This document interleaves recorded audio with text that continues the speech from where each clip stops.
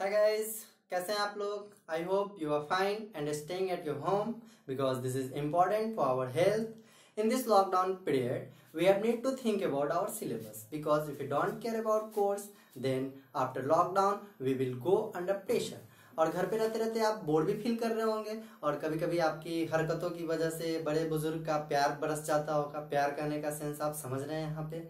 बच्चों, है क्या कि आप लोग बहुत सच्चे होते हैं, लेकिन आप लोगों को कुछ होमवर्क या कुछ भी काम में इंगेज रखा जाए तो। इन्हीं सब कॉन्सेप्ट के तहत हम लोग एक ई क्लासेस का प्लानिंग किए हैं स्टडी मैनिया चैनल के तहत। विशेष बातें मैं आगे के वीडियोस में बताते रहूँगा कि कैसे हम लोग ई क्लासेस को आगे कैरी करेंगे।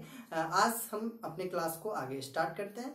आज की टॉपिक है फिजिक्स फिजिक्स टॉपिक के अंतर्गत हम लोग पढ़ेंगे what is physics how can we understand the physics then after we will also discuss about what is the important of physics तो let's start today about physics जैसा हम लोग जानते हैं फिजिक्स साइंस का एक ब्रांच है।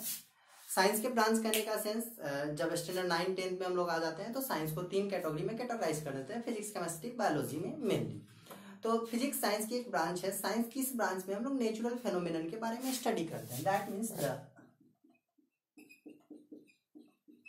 study of natural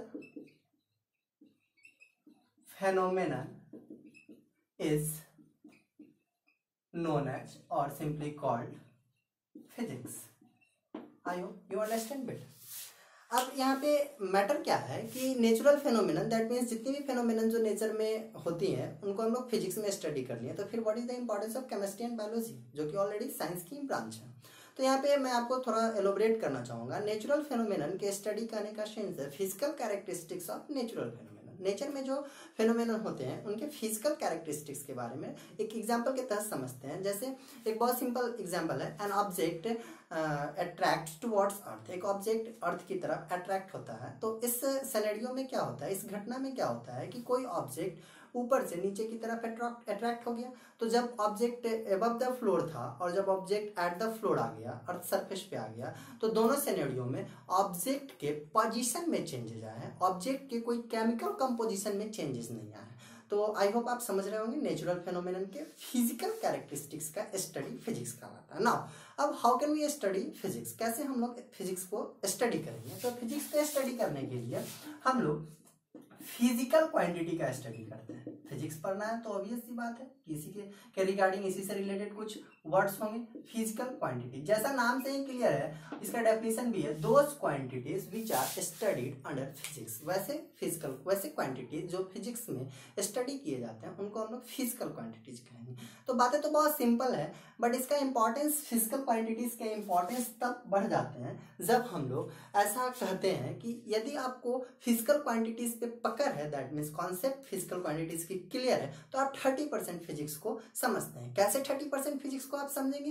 physical quantities की मदद से। आप किसी भी स्टैंडर्ड में standard nine tenth eleven twelfth आप फिजिक्स समझेंगे by the help of physical quantities यही फंडामेंटल तो फ़िज़िकल क्वांटिटीज का इंपॉर्टेंस इतना ज़्यादा है तो हम लोग इसको समझने के लिए फ़िज़िकल क्वांटिटीज के कैटेगराइजेशन पे फोकस करते हैं। फ़िज़िकल क्वांटिटीज के दो कैटेगराइजेशन है। पहला कैटेगरी फंडामेंटल फ़िज़िकल क्वांटिटी दूसरा कैटेगराइजेशन में इसके हैं डेराइव्ड फ़िज़िकल क्वांटिटी फंडामेंटल जैसा नाम से क्लियर है those physical quantities which are independent वैसे फ़िज़िकल क्वांटिटी जो इंडिपेंडेंट होते हैं never depend upon other physical quantities are known as fundamental physical quantities ये फ़िज़िकल क्वांटिटीज इंडिपेंडेंट होते हैं. ये फिक्स है नंबर में. There are only seven mass length time temperature electric current intensity of light amount of substance count कर लें एक बार seven हुआ या नहीं एक दो तीन चार पाँच छ सात there are only seven fundamental physical quantities and by the help of these seven fundamental physical quantities we derive uh, different derive physical quantities which are important in our physics समझते हैं इसको भी कैसे? स्पीड इसकी formula ले distance by time यदि मैं distance को रिप्रेजेंट कर दूँ लेंथ से तो आई होप आप में से किसी को भी कोई इशू नहीं होना चाहिए।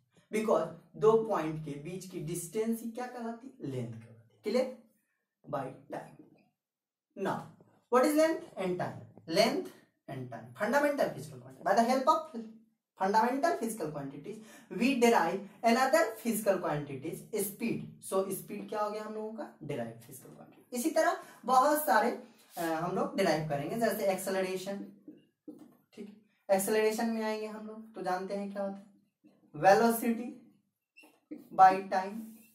और वेलोसिटी कहने का मतलब स्पीड होता है, यदि सिर्फ़ मैग्नीट्यूड ले तो बाई टाइम तो ये वेलोसिटी ऑलरेडी डिराइव था और टाइम फंडामेंटल था। तो इस तरीके से एक्सेलरेशन भी क्या हो गया हमारा? Derive physical quantity clear fundamental physical quantity पे थोड़ा फिर से एक बार फोकस करते हैं। मास लेंथ टाइम कोई भी दो फिक्स पॉइंट के बीच की जो लेंथ होती है, वो किसी दूसरी चीज़ पे डिपेंड नहीं करती। ये इंडिपेंडेंट घड़ी जो है टाइम देती है हम लोगों को। अब बैटरी खत्म हो जाएगा तो अलग बात है। बैटरी खत्म भी हो गया तो क्या घड़ी रुक गई? तो टाइम भी रुक गई क्या? नेवर टाइम कभी रुकता नहीं। ये हम लोग जानते हैं। तो इस, इन बातों को समझते हुए हम लोग ऐसा समझ सकते हैं कि इसमें जितने भी फ़िज़िकल क्वांटिटीज हैं सेवन वो किसी भी दूसरे फ़िज़िकल क्वांटिटीज पर डिपेंड नहीं करता अब आप इसको याद कैसे रखेंगे? तो इसको याद रखने के लिए भी हम एक सिंपल सा ट्रिक यूज़ करते हैं। जो ट्रिक मैं यहाँ लिख देता हूँ, यहीं पे I M L E T lit ठीक है? और मैं यहाँ आपको समझा दे रहा हूँ ऑर्डरली आई जो है वो स्टैंड कर रहा है intensity of light I stand कर रहा है इंटेंसिटी ऑफ़ लाइट के लिए ए स्टैंड कर रहा है अमाउंट ऑफ़ सब्सटेंस के लिए एम स्टैंड कर रहा है मास के लिए एल स्टैंड कर रहा है लेंथ के लिए और ई e स्टैंड कर रहा है इलेक्ट्रिक करंट के लिए टी स्टैंड कर रहा है टाइम और टेम्परेचर दोनों के लिए। आई एम लेट जो एक सेंटेंस है, ये मीनिंगफुल सेंटेंस नहीं है एल ई टी लेट रहता तो थोड़ा समझ में भी आता बट ये एल ई टी है। तो ये एक ट्रिक के लिए यूज़ किया गया, जिसके तहत आप सेवन फंडामेंटल फ़िज़िकल क्वांटिटीज के नाम याद रखेंगे। आई होप आप बिना ट्रिक के भी याद कर सकते हैं बट मैं ट्रिक दे दिया हूँ, ताकि आपको याद करने में सहूलियत तो ये थे फंडामेंटल फ़िज़िकल क्वांटिटी और ड्राइव फ़िज़िकल क्वांटिटी यदि आपको इतने पे पकड़ होता है। अब ये ये कितने नंबर में है? तो ये अभी तक अप्रोक्सीमेटली 98 प्लस है। क्योंकि ये डिराइव किए जाते हैं। जैसे जैसे नेचुरल फेनोमेनन का स्टडी करना होता है हम लोगों को हम लोग नए नए फ़िज़िकल क्वांटिटीज को डिराइव कर लेते हैं। फिजिस्ट साइंटिस्ट जो रिसर्च करते हैं वो नए नए फ़िज़िकल क्वांटिटीज का डेरिवेशन कर, करते रहते हैं। तो इंग्लिश में फ़िज़िकल क्वांटिटीज टोटल नंबर में हंड्रेड प्लस है। यदि आप ये फ़िज़िकल क्वांटिटीज पकड़ रखते हैं तो फिजिक्स समझते हैं और कैसे समझते हैं वो मैं आज की क्लास में आपको थोड़ा बहुत समझाने की कोशिश किया हूँ। अब कुछ स्टूडेंट्स के मन में एक डाउट आ रहा होगा, जो आना भी चाहिए बेसिकली क्योंकि आप जब बुक पढ़ते हैं एनसीईआरटी या कोई भी रिलेबल सोर्स बुक पढ़ते हैं आप एस में या कोई भी स्टाइलिन मल्होत्रा वगैरह तो आपको वहाँ पे एक चीज़ें मिल जाती हैं कि फ़िज़िकल क्वांटिटीज के दो कैटेगरी हैं known as scalar physical quantities and vector physical quantities but मैंने तो पढ़ा दिया fundamental physical quantities and drive physical quantities तो अब यहाँ पे एक इशू आ रहा होगा कि कैसे समझें इसको हम लोग। तो हम इस चीज़ को आपको क्लियर कर देते हैं। एक बॉक्स कॉन्सेप्ट मैं इसको मिटा रहा हूँ। आप स्क्रीनशॉट ले लेंगे और या पॉज कर देंगे वीडियो को और नोट्स बनाएँगे। नोट्स बनाना बहुत ज़रूरी है, ठीक है? तो बढ़ते हैं हम लोग। मैं बोला कि कुछ स्टूडेंट्स बुक में पढ़े होंगे कि स्केलर फ़िज़िकल क्वांटिटीज और वेक्टर फ़िज़िकल क्वांटिटीज और मैंने यहाँ पे पढ़ाया फंडामेंटल फ़िज़िकल क्वांटिटीज और डायरेक्ट फ़िज़िकल क्वांटिटी तो मैं एक बॉक्स कॉन्सेप्ट ले लेता हूँ। एक बॉक्स ले लिया। इसमें फंडामेंटल फ़िज़िकल क्वांटिटी जो सेवन है और डायरेक्ट फ़िज़िकल क्वांटिटी जो ऑलमोस्ट 98 प्लस है टोटल 100 प्लस फ़िज़िकल क्वांटिटी सारे को इस बॉक्स में डाल दिए इसमें से एक कोई फ़िज़िकल क्वांटिटी निकाल लिया, मान लेता हूँ लेंथ निकाल लिया, ठीक है? फिर एक कोई फ़िज़िकल क्वांटिटी निकाल लिया, मान लेता हूँ क्या निकाल लिया? वेलोसिटी निकाल लिया, ठीक है? फिर एक फ़िज़िकल क्वांटिटी ले लेता हूँ, मान लिया क्या निकाल लिया? स्पीड निकाल मैं बोलता हूँ लेंथ के पास सिर्फ़ और सिर्फ़ मैग्नीट्यूड है वेलोसिटी के पास मैग्नीच्यूड के साथ साथ डायरेक्शन भी है एंड स्पीड के पास मल्ली मैग्नीच्यूड है।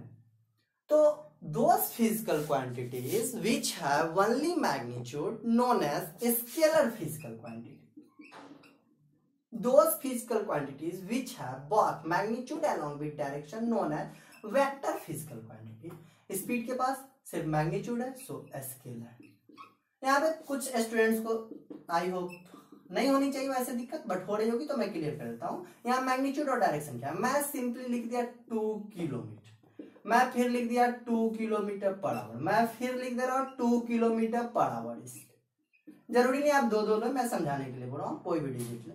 टू किलोमीटर में सिर्फ़ मैग्नीट्यूड है। टू किलोमीटर पर आवर में भी सिर्फ़ मैग्नीट्यूड है। ये टू किलोमीटर पर आवर में मैग्नीट्यूड के साथ साथ डायरेक्शन भी है। डन तो जिस फ़िज़िकल क्वांटिटीज में सिर्फ़ मैग्नीट्यूड है, वो स्केलर में जाएँगे। जिस फ़िज़िकल क्वांटिटीज में मैग्नीट्यूड के साथ साथ डायरेक्शन है, वो किसमें जाएँगे? वेक्टर में। आई होप आप स्केलर और वेक्टर का कॉन्सेप्ट जो जान रहे थे या नहीं जान रहे थे तो आज जान गए।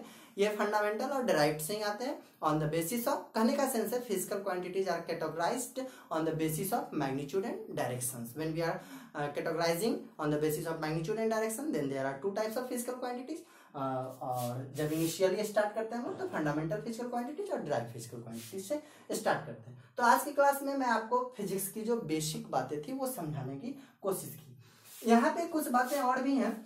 आ, मैं इसको इरेज कर देता हूँ। ये बेसिकली समझाने के लिए था। आप अपने नोट्स में रिप्रेजेंट कर सकते हैं ताकि आप भूले नहीं आगे। नो यहाँ से जो आगे की क्लासेज आएँगे वो बाइफर्केट होके आएँगे। नाइन्थ के बच्चों के लिए अलग प्लेलिस्ट में मिल जाएगा आपको। टेंथ के बच्चों के लिए अलग एलेवेंथ के लिए अलग एंड ट्वेल्थ के लिए अलग सारे के लिए अलग अलग प्ले एक प्लेलिस्ट में सारे के लिए अलग अलग आपको जाके सर्च कर सकते हैं और देख सकते हैं क्लासेस के वीडियोस यहाँ पे मैं थोड़ा सा और क्लास में आपको कुछ बातें सिखा दूँ। जैसे यूनिट एंड मेजरमेंट्स। जब हम लोग फिजिक्स पढ़ते हैं तो यूनिट्स एंड मेज़रमेंट, क्योंकि कोई भी फ़िज़िकल क्वांटिटीज जब हम लोग स्टडी करेंगे तो उसको मेजर करना होगा। क्लियर है ना स्टूडेंट तो मेज़रमेंट का कॉन्सेप्ट है।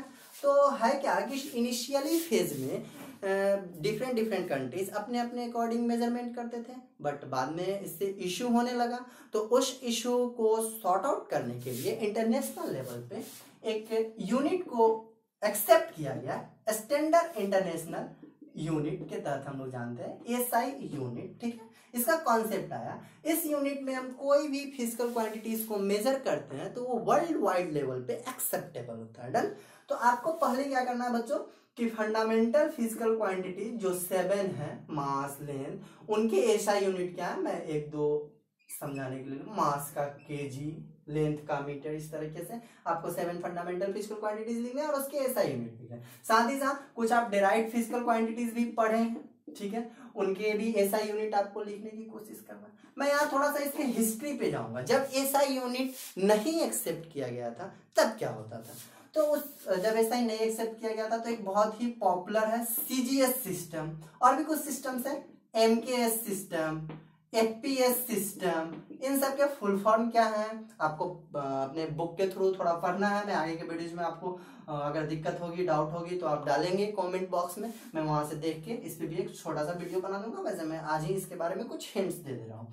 ये सीजीएस का इंपॉर्टेंस थोड़ा है हम लोगों के सिलेबस के अकॉर्डिंग वैसे सारे के इंपॉर्टेंस है, आपको सारे को आना, जानना चाहिए। बट सीजीएस के और ऐसा यूनिट में हम लोग कुछ रिलेशंस आगे फ़िज़िकल क्वांटिटीज में देखेंगे। तो देन आई होप आज आपको कुछ कॉन्सेप्ट बिल्डअप हुआ होगा और होमवर्क भी मिला होगा। आज क्लासेस के इनिशियली फ़ेज़ में थे हम लोग आफ्टर दैट धीरे धीरे बाई बाइफर्केट करके, जैसा मैं कहा, आपको वीडियोज़ मिलते रहेंगे। तो चलिए, तब तक आप अपना ख्याल रखिए और घर पे थोड़ी अपने हरकतों पे कमांड कीजिए और अपने स्टडी को कंटिन्यू रखिए। ओके